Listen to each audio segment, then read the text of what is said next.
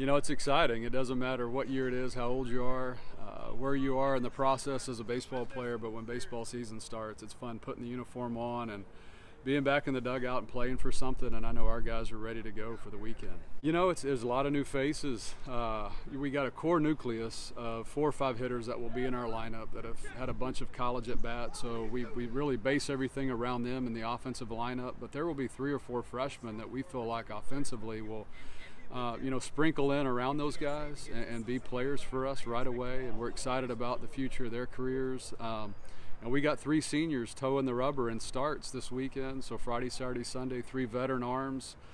Uh, you know, but there's a lot to prove. We lost a lot of very valuable players, uh, kids that had had a lot of at bats and done a lot of great things in the program. And, and so turning those guys over. Uh, there's a lot of uh, expectations and hopes on a new group for sure. I think the number one thing is uh, this is as reliable of a group as far as their work ethic, extra time, uh, just being able to teach and guys grabbing hold of things right away, even in the younger group.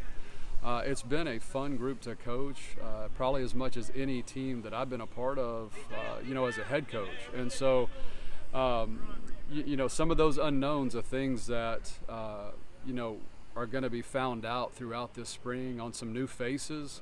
Uh, the one thing that I do know about them is they show up to work every day. Uh, they, they definitely have some goals set very high. And uh, so those things get you excited about what the potential might be.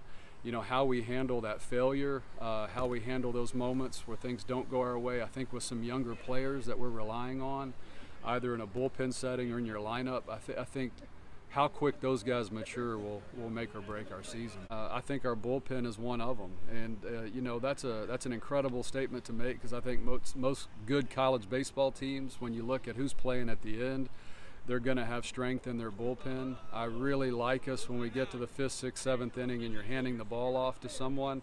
I think we've got a lot of options in that bullpen. Uh, and then the other strength would be having five veteran hitters that are going to hit probably from two all the way to six, two to seven, three to seven, somewhere in there. Uh, just a lot of college at bats in there that we can lean on and, and hopefully, you know, provide that needed production. We have a, a, great team chemistry. It's a lot better for my teams in the past that we've been on, but just their their energy, their diligence to work, everything's so much different. It's so good. Excited. I'm just honored to. Uh, be able to go out there and do it again. So uh, hopefully put on for the team and everything. Have a good day. So that's all I'm focused on.